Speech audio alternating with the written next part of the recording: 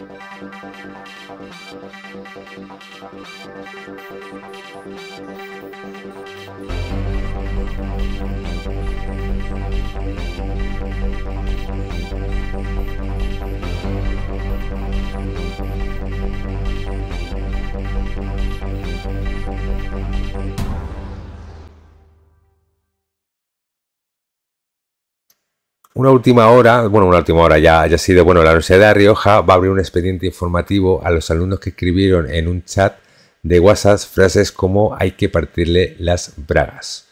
Las acciones podrían ir entre dos meses y tres años de expulsión.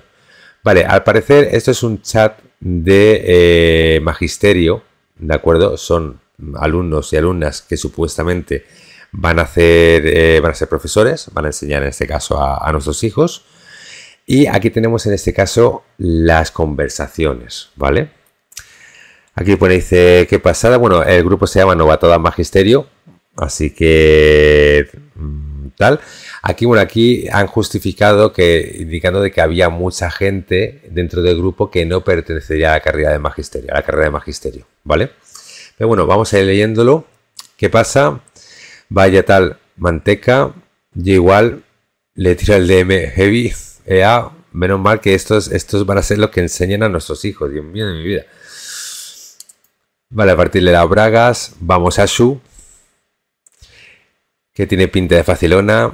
Si es, si es que lleva algo a la contestación de a partir de las bragas. Uno se ríe. Asu.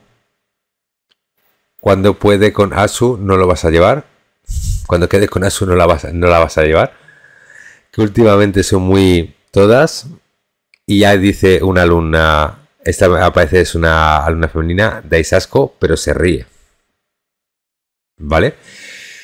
Bueno, es preocupante, ¿de acuerdo? Que alumnos de magisterio, que vuelvo a reiterar que van a ser en este caso eh, lo que eduquen a, a, nuestros hijos en un futuro, eh, hablen de esta manera tan despectivas de compañeras de su facultad, ¿vale? Independientemente de que pertenezcan a, de que sean al magisterio o no, porque si están allí o pertenecerán a alguna otra carrera o eh, simplemente tendrán conocidos de, dentro de esa carrera.